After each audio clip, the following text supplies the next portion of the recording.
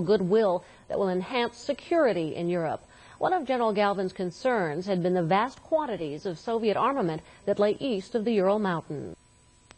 Concerned about the tanks and the other equipment that's east of the Ural Mountains. It amounts to thousands of pieces of equipment, but I'm not so concerned about it that I would say don't sign the treaty. Let's sign the treaty, and then let's work out the problem of what's east of the Urals. And the Soviets have talked to me about it. I just got back from the Soviet Union the day before yesterday, and there I talked to uh, the generals about this and told them about my worries. And they uh, gave me some of their reasons. They say they have some management reasons and they uh, have other uh, uh, reasons why that equipment is there. Uh, General Galvin was interviewed while visiting troops loading their equipment at a railhead in Germany.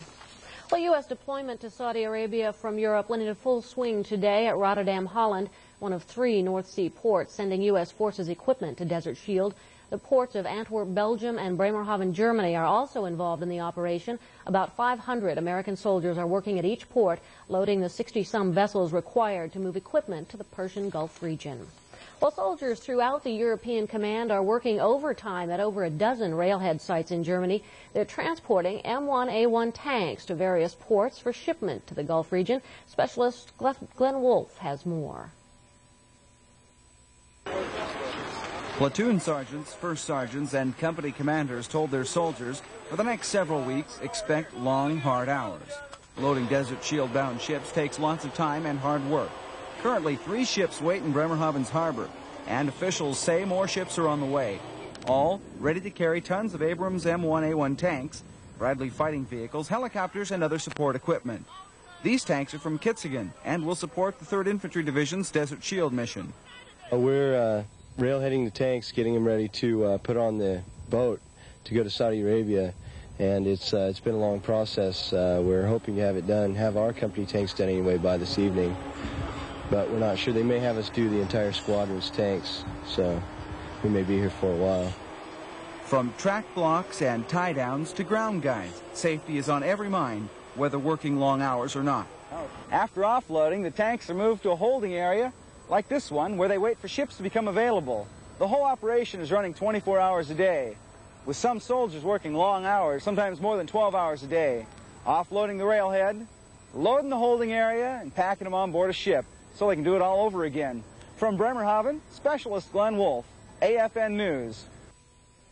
Specialist Jim Higgins is in Saudi Arabia with the 8th Infantry Division.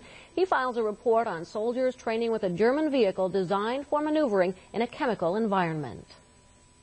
The last time we showed you the 8th IAD training on the Fuchs was their initial training at Sonthofen, Germany. Since then, they've proven their mettle, and now they're ready to deploy to Operation Desert Shield. The 8th ID's 25th Chemical has put together a super chemical platoon consisting of elements from companies in Mainz, Mannheim, and Bad Kreuznach. The platoon was assembled especially for the Fuchs with decontamination and chemical operations specialists all coming together to train on a common goal. The Fuchs is one of the most highly advanced recon vehicles of its kind. These 8th ID soldiers feel they've come of age learning how to operate it. We moved from the uh, dark ages to the computer age overnight when you move from a, a track vehicle that's not really made to do a true NBC reconnaissance mission to something like this that's ideally suited for it, it it's superb. These soldiers have uh, moved from, from, being decon soldiers, NBC NCOs, and some guys that used to work on uh, M113 recon vehicles, all coming together with a Fox platoon. An incredible, versatile, high-tech piece of equipment. Training on the Fuchs consisted of a three-week intensive course with the Bundeswehr and covered all aspects of the vehicle, from computers to actually driving the vehicle in different environments. How are these vehicles handle on the autobahn?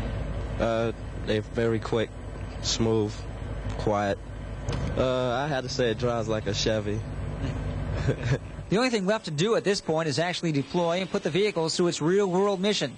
Training these soldiers know inside and out, and they're ready to do we came together, you know, on short notice, and when we got together, we, we finally clicked into one whole platoon, you know, because they're from Bad Kreuznach and we're from Mannheim, and to put us together, we thought it was going to be difficult, but it worked out well.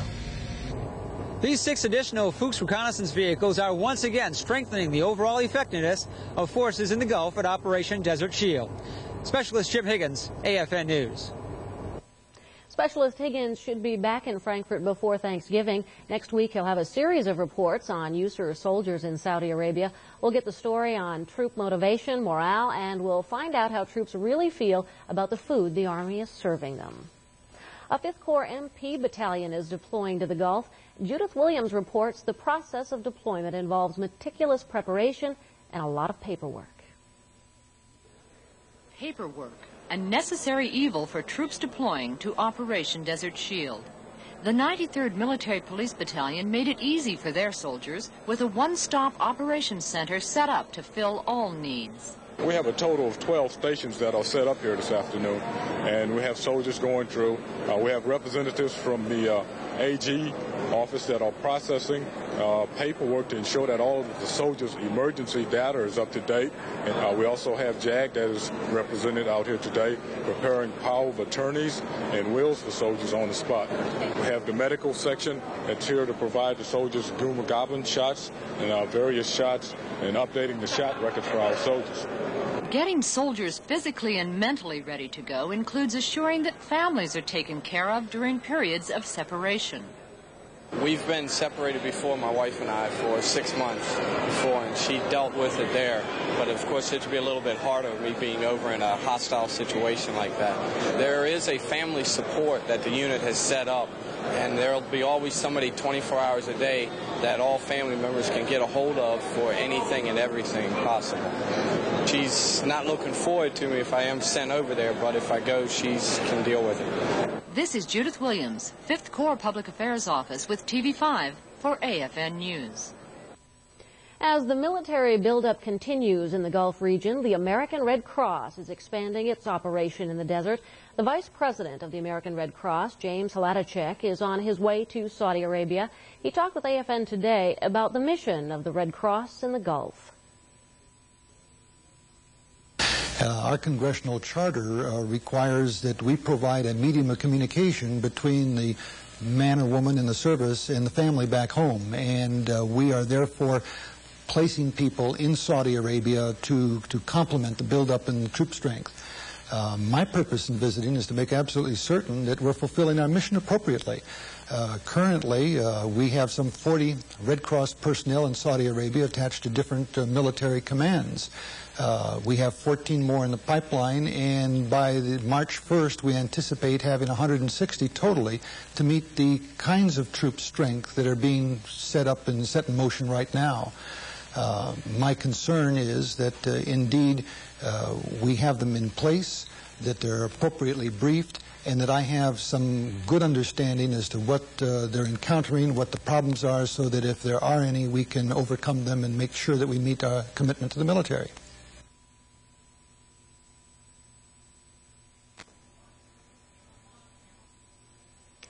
Have more on the Red Cross operation in Desert Shield tomorrow night. We'll also take a look at what the Red Cross provides for military families left behind in Europe. Well, it looks like this rainy weather is going to stick around for a while. Sergeant Rob Rios has our forecast.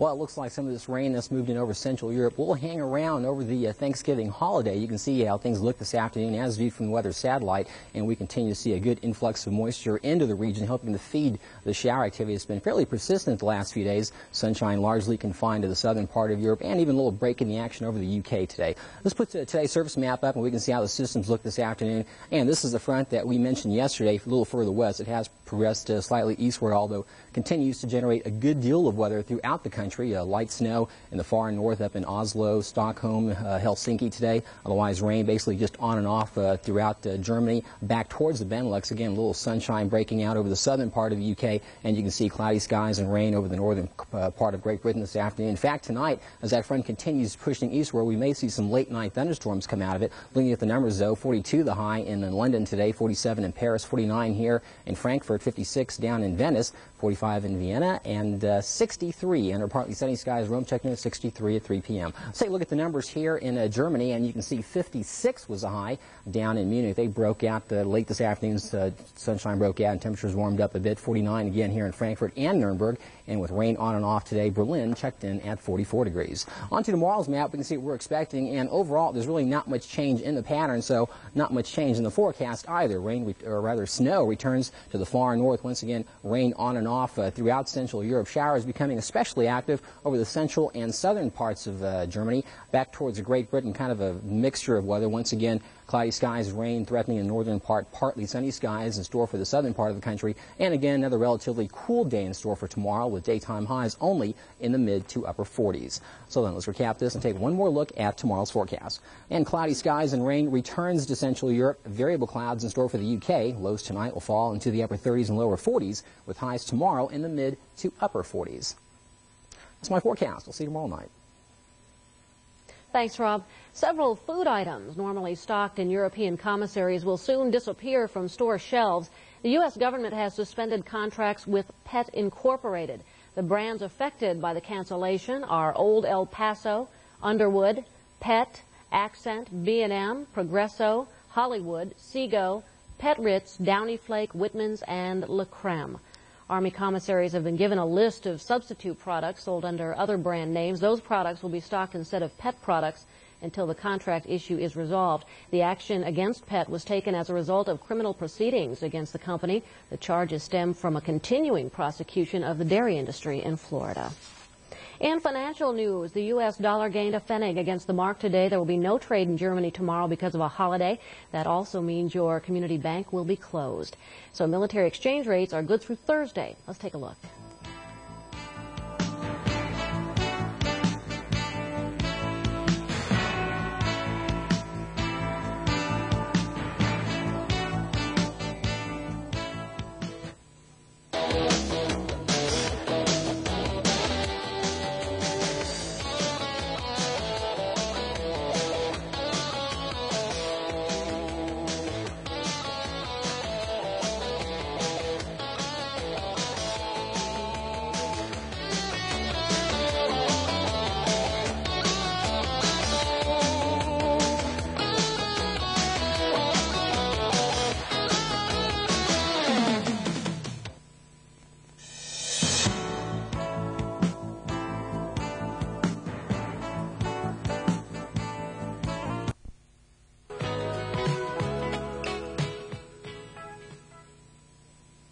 I can't think of a better way to get to know what the real Germany is like. Now, very few tourists get to know Germans the way I have. An Air Force squadron is leaving Europe, but not for the Gulf. The unit is deactivating as part of the drawdown of forces in Europe. Sergeant Sharon Goodman reports. The 10th Military Airlift Squadron from Zweibrücken Air Base is the first flying unit to inactivate since the Berlin Wall came down. The inactivation is in accordance with the drawdown of forces in Europe and the closure of Zweibrücken Air Base. The 10th Mass has been at Zweibrücken since January 1984. It's been an interesting uh, squadron. It's been the best squadron I've ever had the pleasure of being assigned to at this time. I hope that my next assignment will be just as good or better, uh, which I kind of doubt because uh, I tell you, our motto, uh, with a touch of class and judgment, discretion, we've really lived that in the squadron. I'm pretty proud of the squadron, and uh, I'm sure everybody else here is also. Before being inactivated, the unit was awarded the Outstanding Operations Support Airlift Squadron of the Year award. Three of the nine C-23 Sherpas that belong to the unit have already departed. The remaining six are scheduled to leave sometime this month. Although the ceremony was held early so all members could participate, the unit officially inactivates March 31st, 1991. Sergeant Sharon Goodman, AFN News.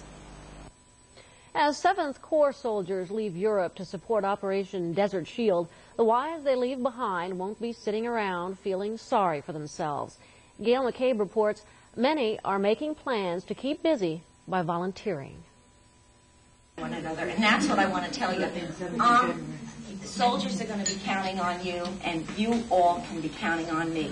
What we have to do is go out. They're laying their battle plan. They are the spouses of the command and staff of Headquarters 7th Corps. If we, we're going to be strong in support and help with the uh, the young families and uh, the people that are staying here after the deployment, and that can only make our soldiers better. The information these spouses and others like them are putting out includes all the practical stuff families will need when their soldier deploys. What they're also getting across is the knowledge that they care. Darlene Gehring's husband has been through two tours in Vietnam and a year in Saudi. She's received the news that both of her sons and her husband are going to the Gulf. I'm staying busy, staying, getting out of the house, volunteer work, and just not really trying to think about it. It's not going to be difficult for, for the ladies that, or the spouses that are here at Kelly Barracks, but I, I feel like it is going to be difficult for those that are out on the economy, the ones that, there are going to be many that, that just, uh, at this point in time, they don't feel they need that communication. And, and my concern right now are for those out on the economy. All spouses are answering the call to duty and taking their responsibilities seriously. As one spouse puts it, it's up to us to keep it together. In Stuttgart, Gail McCabe, 7th Corps, AFN News. American school children in Berlin are sharing the spirit of Thanksgiving with some of their German neighbors. The kids of Thomas Roberts Elementary pooled resources in the school kitchen to cook up a Thanksgiving lunch for some special friends.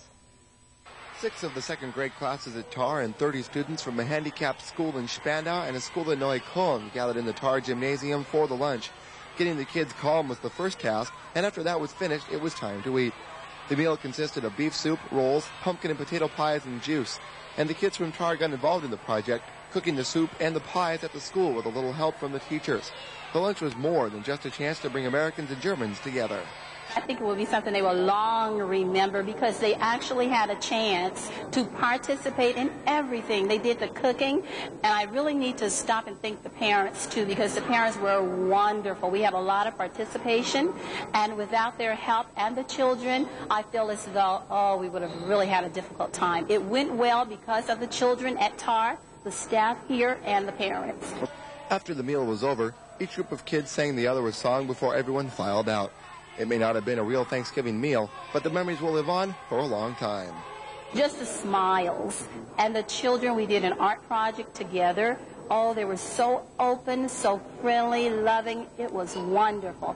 And when we did the song for them, they also brought a song from their school to do for us. It was super. It's just that friendship, that kindness that was shown today. It was great. From Berlin, Emma Magneto, AFN News. And that's our report. Thanks for joining us. Good night.